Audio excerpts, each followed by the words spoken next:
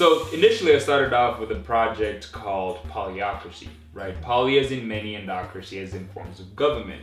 When I was building it, I first wanted to replace democracy. This was back when Trump had won back in 2016.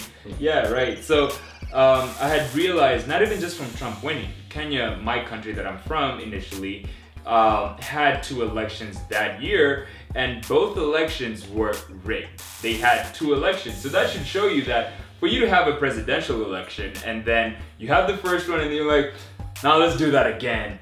But if the same thing happens, you know, the system is rigged. The same person won? Yeah, same okay. person won. Okay. Twice. Okay. and so, uh, and so I was, at, I was at that time that I was like, man, we should build a new system. Mm-hmm. We're in 2018, we're in the 21st century. These systems like democracy, monarchs, oligarchs, all these systems, not only were they built 2,000 years ago, or their legacy systems as I choose to call them, but we live at a time in which we can build a system that, as J. Cole says it, I can vote from my phone. Mm-hmm. I, I can impact the world from the tools that I have in this day and age. So I was like, hey, polyocracy was born from the the feeling that I should build a new system to help humanity organize. So the name polyocracy stands for poly as in many, and ocracy is forms of organization. So demo- democracy is demo, and ocracy, which is forms of organization, right? So that's what it was initially going out for, right? So I modeled polyocracy based on the human body because these bodies that we live in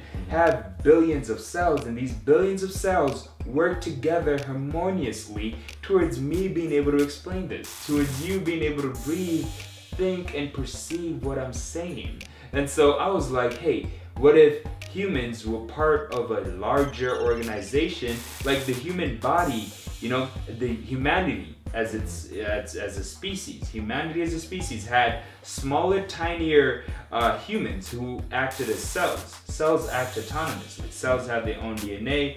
They do things that they, you know, feel like they should do. Skin cells do skin cell stuff. Yeah. Heart cells do heart cell stuff. That's based on their DNA, and that's what they feel that they should do. So humans are the same in the way that I have passions, I want to do these things, and so I do that kind of stuff. So humans and cells have the same autonomy. So I modeled polyocracy after the autonomy of cells in the human body, but the same harmonious um, way of creating an experience that the human body does right? And so that's that's initially what I was going for, and Makes it's sense. been a journey, and that's why this was a big thing. That's why I mentioned it earlier because yeah. I modeled this when yeah. I was doing that, and I was like, all right, so how can we build a system? How can we build an algorithm that can be an app, right? Because we're gonna talk about some high concept ideas, but I want you to be able to use this as an app. I want you to be able to use this as a as the way you use Facebook or Google. Mm-hmm. Polyocracy will be one of those things. And, and th- this wasn't the thing that you were talking about copyrighting, right? No. no. Okay. So this is actually what I have copyrighting because okay.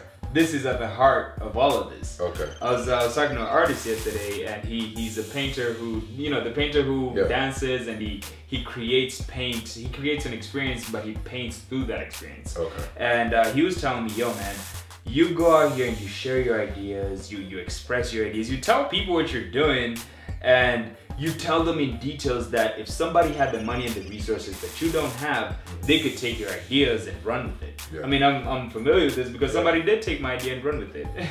but at the end of the day, I realized that I want to share these because I want the world to be a better place. Had the people who steal my ideas and go execute upon them, they're helping me do what I want to do. Mm-hmm. If they accomplish it in the way that I wish and I see it being accomplished, then the world becomes better. You know, so for me, I had to copyright this though because this is at the core of what I wanted yeah. to do.